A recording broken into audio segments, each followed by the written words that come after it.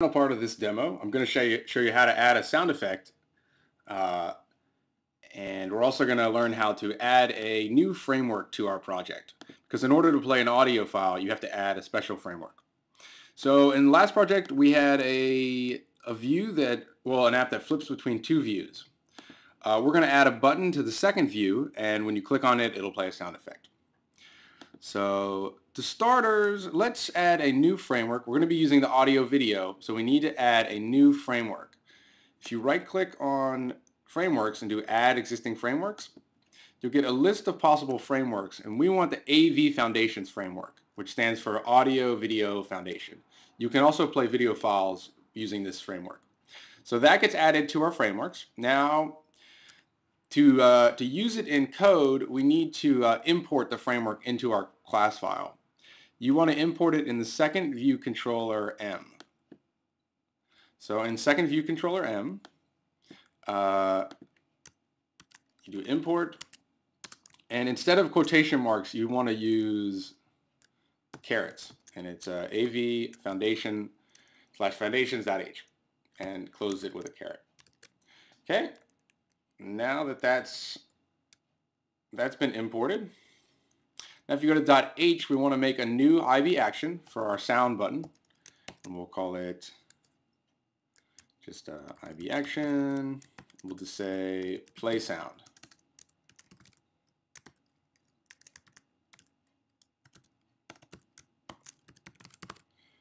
Okay. And copy that function, and we need to paste it in the M file. Go to my second view controller M, and I'll paste it down underneath our back function. Okay. Now we need to, uh, now that we have a function in place, like I have some sound effects here. Uh, I'll put them on the website. There, it's just a guitar uh, string plucking, so we can hear that.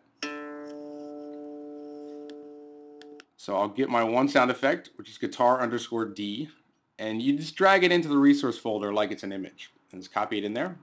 Now it's part of my project. Now I'll write the code to, uh, to set it up. The first thing we need to do is make an NS string, and this is going to be a path to that file. And this takes a NS bundle, and we want to write main bundle pointing to our main project uh, and path resource. The, uh, the name of the resource is we need to at sign quotation marks and mine is called guitar uh, underscore D. And then the second part is they want to ask, they ask you the, the type of file. So in our case, it's a, uh, it's a WAV file. Now the audio player will let you do uh, MP3s, waves, and uh, .af files. Okay, so now we've made a path. Now we need to make an audio player, and it's AV audio player. Now, unless you've imported that into the project, you won't see you won't see the audio player in there and we need to give it a name, so I'll call mine audio player. And we have to initiate it. Audio player, uh, allocate, and then init with contents of a URL. Okay, and this init with contents of URL takes a URL file so there's a new type called NSURL, files with path. And this takes that path file that we made. So you can see this. It's going to take our path. Uh, and then error is, error is simply null. Square bracket,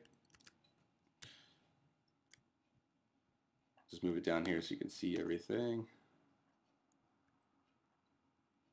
Okay, so now we've, uh, we've done two things. We created our path, the audio player, and we linked it up with, with the path. Uh, so it's pointing to this file. The last thing we have to do is uh, tell it to play. Uh, so we do audio, audio player, and uh, let's just play. All right.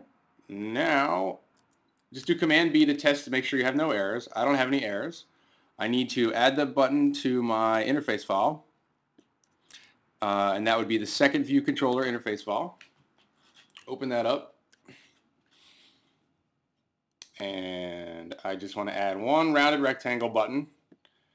And I'm going to say play sound. Now I need to right click on my files owner and I should have the play sound function, which I do. Uh, and we drag it down to here and I'm just going to do touch, touch up inside.